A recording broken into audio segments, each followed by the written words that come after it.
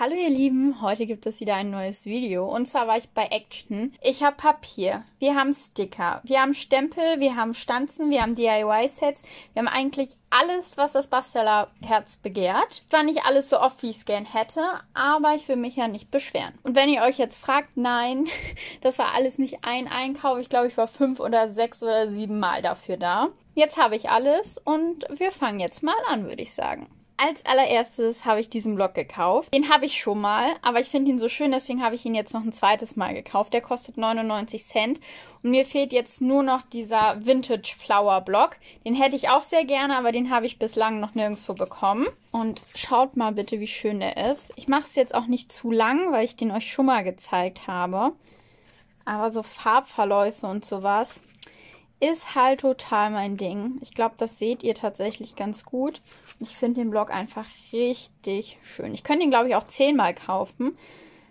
Aber ich habe keinen Platz, Leute. Es ist echt schlimm.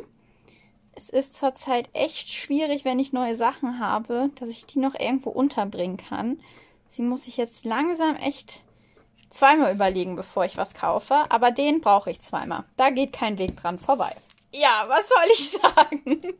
Ich liebe Glitzersteinchen und ich habe ein paar gekauft. So sehen die neuen Packungen aus und so sahen die alten Packungen aus. Also je nach Action findet man die in dem Design oder in dem, sind aber vom Grunde her alles die gleichen und online sind, glaube ich, beide abgebildet. Und ja, das sind solche, die so richtig, richtig funkeln. Es gibt ja auch noch die langen, die in der Kinderabteilung sind. Die sind ganz cool, aber die finde ich wirklich wunderschön. Und die gab es relativ lange nicht. Und deswegen habe ich jetzt von allen, glaube ich, zwei bis vier Packungen, je nachdem, wie gut sie mir gefallen hat. Und ich habe die bei mir so aufbewahrt in so einem Magazin, wo sonst eher Schrauben und so drin sind, dann zusammengeschnitten und da so reingetan, damit ich die immer griffbereit habe. Und ja, ich werde ganz viel kaputt schneiden müssen, aber ähm, ja, das ist einmal die erste Packung mit so einem Gelb, Gold und ein Pink. Die habe ich dreimal gekauft. Dann habe ich dieses Grün hier. Das ist einmal hellgrün und dunkelgrün auch dreimal geholt. Und je nachdem, wie es Licht halt ist, ist es auch eher türkis. Also die sind einfach wunderschön.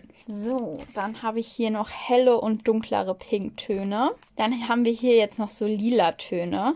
Das sind meine absoluten Lieblingsfarben. Pack die einmal aus, dann funkelt das. Ja, ich packe, glaube ich, alle jetzt mal aus.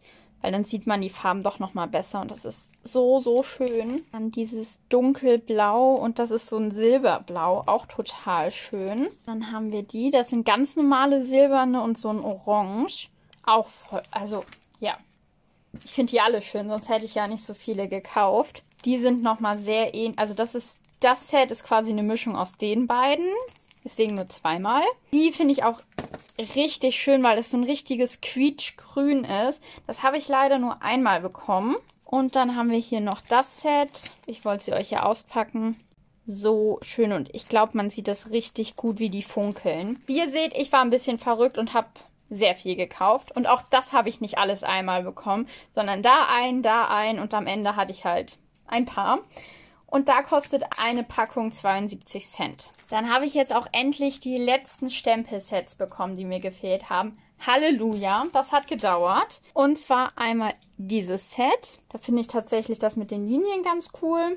Die kosten wie immer 79 Cent und ich finde die von der Qualität echt gut für das, was sie kosten. Dann schaut euch mal bitte dieses Set an. Wie wunderschön ist denn bitte diese Blume hier unten? Wunderschön einfach. Ach ja, Richtig, richtig schön. Und auch die Lilien. Lilien sind meine Lieblingsblumen. Bin ich auch richtig glücklich. Und dann gab es noch dieses Buchstabenset. Auch das Happy Birthday fand ich echt schön. Und was ich halt auch ganz cool fand, dass mal ein Ad dabei ist, weil das fehlt mir tatsächlich ganz oft. Und auch das Unzeichen. Wie gesagt, 79 Cent jeweils. Dann habe ich jetzt auch alle vier Blöcke zusammen, die so geprägt sind. Finde ich tatsächlich auch sehr cool. Zeige ich euch natürlich. Ist so ein, naja, ihr seht das, glaube ich. Und die Farben sind immer zweimal drin mit Muster. Und ja, einfach richtig schön in unterschiedlichen Farben. Und es fühlt sich auch richtig gut an, das Papier. Und manchmal hat man ja bei geprägtem Papier so ein bisschen das Problem, dass es ein bisschen, naja, zu sehr geprägt ist und man das Gefühl hat, es fällt gleich auseinander. Aber das hat man da gar nicht. Und ich hoffe, man sieht das gut, weil ich finde den richtig toll. Und von vorne, finde ich, geht das wieder ein bisschen unter, weil man natürlich nicht alle Farben sieht. Weil so, finde ich, sieht der jetzt nicht so super spektakulär aus, aber ich mag den echt gerne. Und der Block kostet 1,79. Kommen wir jetzt mal zu einem, der ein bisschen farbenfroher ist. Achso, der erste hieß Jungle Forever und das ist Pastel Sweets. Und es ist 250er Gramm Papier. Hier haben wir mal weiß. Kann man natürlich auch immer gebrauchen. Dann ein bisschen rosa, hellblau mit diesen. Ah, es sieht doch einfach toll aus. Und wenn man die Farbe nicht mag, sieht man es hier gut. Nehmt ihr einfach die Rückseite und arbeitet mit dem Negativ. Also wirklich toll. Dann hier haben wir das schöne Lila. Das ist auch eine tolle Farbe. Das ist so ein richtig schönes Frühlingstürkis. Ich mag die echt sehr gerne. Haben wir wieder was Weißes. Ein bisschen rosa. Blau. Das mag ich jetzt nicht ganz so gerne, aber ich stehe auch nicht so auf Vierecke. Das dann nochmal in lila. Wieder dieses Mint mit Punkten. Und nochmal in Gelb. Auch ein sehr schöner Block. Dann haben wir jetzt noch Retro Vibes. Es fängt mit Stern an. Das ist sehr hübsch. Dann haben wir wieder Weiß. Das ist eine knallige Farbe und Vierecke. Das ist jetzt nicht so meins. Da gefällt mir der Farbton tatsächlich ein bisschen besser. Schön, ich mag Streifen. Und man fühlt es halt so. Und das ist so, so Streichelpapier. Am besten nochmal in so ein Gelb-Orange. Okay, das ist auch irgendwie süß hier mit dem Blümchen. Okay, in Weiß mag ich es tatsächlich nicht so gerne, weil ich finde, da geht das Motiv ein bisschen unter. So, da haben wir wieder leuchtendes Rot. Dieses Orange, Beige, Aprikot. Das ist auch sehr schön. Schaut mal. Und nochmal in Orange, Gelb. Auch sehr schön. Also bislang mag ich alle. Ich habe die noch nicht durchgeblättert. Ich gucke mir die Fronten an, denke, habe ich noch nicht, brauche ich. Und das ist jetzt der letzte. Der sieht auch schön aus und von den Farben her gefällt der mir auch. Cool Blue Tones. Da müsste es ja jetzt eigentlich auch nochmal mit Cool Yellow Tones und Red Tones und davon kann es gerne mehr Blöcke geben. Ja, das ist, sind so schöne Farben. Dann die weißen. Das ist auch ein richtig schöner Blauton. Oh, das ist ja eine geile Farbe. Das erinnert mich total an Faunengrün. Oh, hübsch. Dann mit Streifen. Das leuchtet so richtig. Sieht in der Kamera so blau aus, aber es ist eher ein Grün als ein Blau. Das ist ein schönes Blau. Sehr hübsch. Dann nochmal so ein bisschen pastelliger. Weiß. Also auf die weißen könnte ich fast verzichten, weil man kann ja die Rückseite benutzen. Aber die sind richtig schön, die Blöcke. Schaut doch mal. Diese Farbe alleine. Okay, das sieht ein bisschen witzig aus und fühlt sich unfassbar witzig an. Und dann nochmal in dunkelblau. Sehr, sehr schöne Blöcke, muss ich echt gestehen. Wie gesagt, 1,79. Und die vier gibt es. Da! Die neuen Stanzen. Es fehlen mir immer noch sechs. Also ich habe quasi die erste Charge bekommen aber die anderen fehlen mir. Ich zeige euch jetzt aber mal, welche ich bekommen habe. Die kosten 3,33 Euro. Damit habe ich schon so coole Karten gesehen. Man kann dann Tic-Tac-Toe-Feld raus. Nee, nicht Tic-Tac-Toe. Hier gewinnt kann man daraus machen. Oder man macht darauf einen Aufleger und dahinter gucken einen dann kleine Häschen an zu Ostern oder so. Also so viele Ideen. Richtig schön. Und hier so ein bisschen orientalisch. Ich mag die Monde total gerne. Und auch dieses Zeichen. Das kann, glaube ich, ein richtig schöner Tag sein. Ich zeige euch natürlich noch einmal die Rückseite. For example. Und auch hier. Ich mag das total gerne. Dann einmal hier dieses Kameraset mit den Kreisen. Die Kreise sind ein bisschen groß, finde ich persönlich. Aber die Sterne sind auch wieder cool.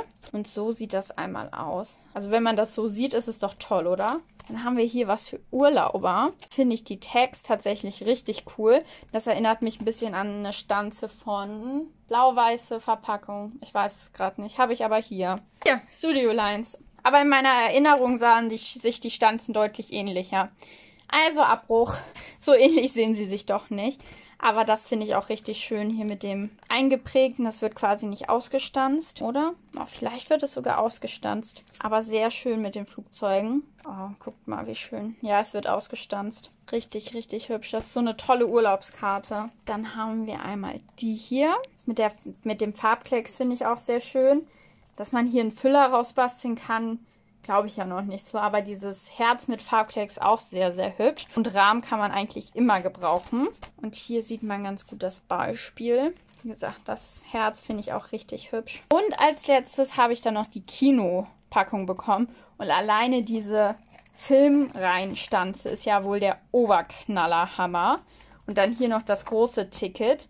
Also ja, einfach toll. Hier ist nochmal das Beispiel für euch. Die sechs habe ich, die anderen sechs fehlen mir noch. Möchte ich auch unbedingt haben.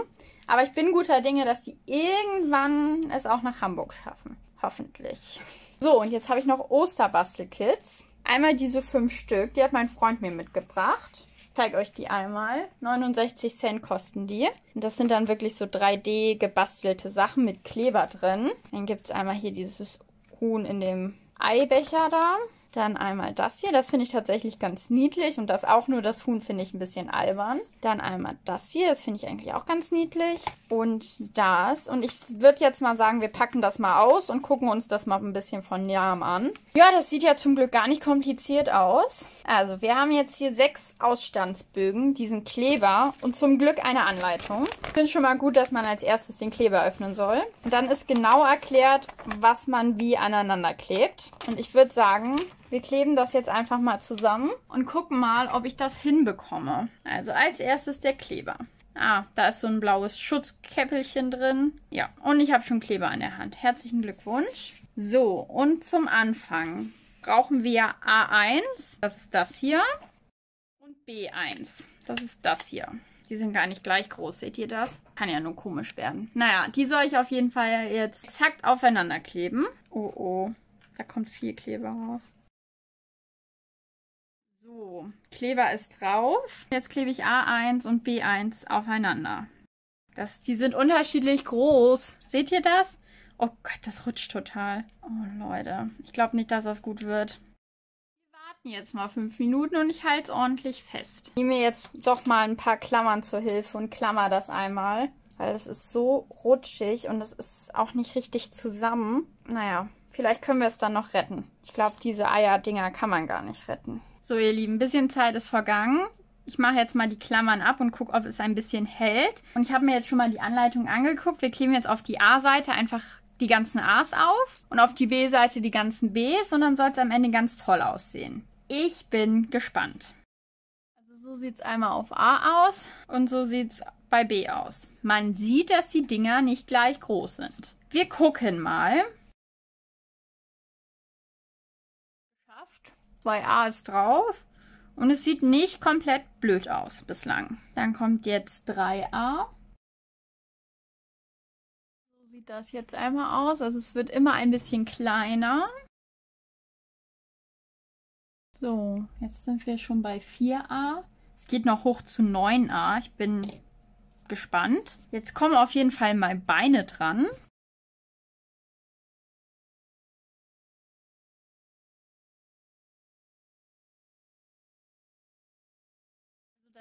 Fellhaufen hier in der Mitte ist jetzt fertig. Als kleinen Tipp, klebt erst den Kopf an, weil das Ding hier ist gar nicht in der Mitte vom Schaf.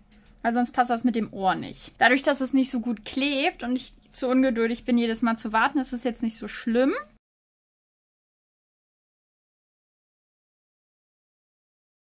Da. So sieht das jetzt aus. Ich gebe es zu, so furchtbar ist es jetzt nicht. Aber da fehlt ja jetzt auch noch die Hälfte. Also da kommt noch mal das andere hin. Und ich mache da jetzt aber erstmal wieder ein paar Klammern dran, damit das jetzt wirklich hält. Es ist schon echt viel Pappe, die ich da zusammengeklebt habe. Und dann habe ich am Ende ein sehr dickes Schaf. Ich würde sagen, ich beende das Video an der Stelle. Es ist jetzt schon ziemlich lang und ich blende euch am Ende noch mal ein kurzes Video ein, wie das Schaf denn jetzt fertig aussieht. Und ja, das war's dann schon und dann wünsche ich euch noch eine schöne Woche. Bis dahin.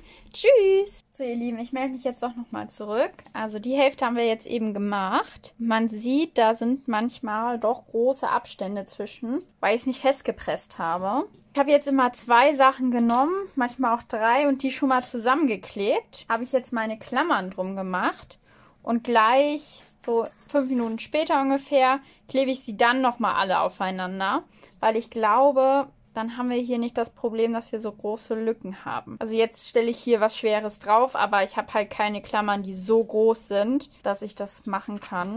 Das passt leider vorne und hinten nicht mit meiner Klammergröße. Deswegen mein Tipp an euch, bastelt euch den einzeln zusammen und dann immer Step by Step, dann könnt ihr immer ein bisschen klammern und dann klappt das, glaube ich, auch ganz gut, weil eigentlich ist es ja schon ein bisschen niedlich. So, ihr Lieben, wir haben es geschafft. Und tada, es steht sogar. Gut, von oben sieht es natürlich ein bisschen selten dämlich aus. So sieht das einmal von vorne aus und so sieht das einmal von hinten aus. So unterm Strich macht es auf jeden Fall ein bisschen Spaß. Es dauert deutlich länger, als ich gedacht hätte. Was auch gut ist, der Kleber reicht und es ist auch noch ein bisschen da.